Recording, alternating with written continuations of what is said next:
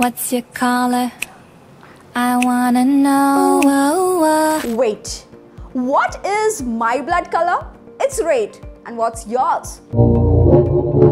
It's red. Okay. But did you think that all the animals have red blood color? It's not so. We have red, blue, green, purple, so many colors. Yes, now red color as you know in humans and other vertebrates, the respiratory pigment over here is hemoglobin and the binding uh, metal is iron which binds with the oxygen. But in case of the octopus, the respiratory pigment is known as hemocyanin where the copper is the binding element with the oxygen and hence the color turns to be blue. Now what about green and purple?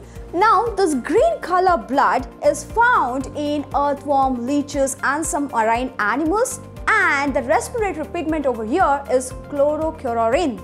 Here the binding item is iron itself but the oxygenated blood becomes green and deoxygenated blood is light green.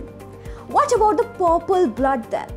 Purple blood is found in few marine animals and specifically the worms. Here the respiratory pigment is hemoerythrin. The oxygen binded blood is purple in color whereas the deoxygenated blood is colorless. So wasn't that fun to know so many colors of the blood? Hope you have loved this video. If you have, please like, share and subscribe our channel.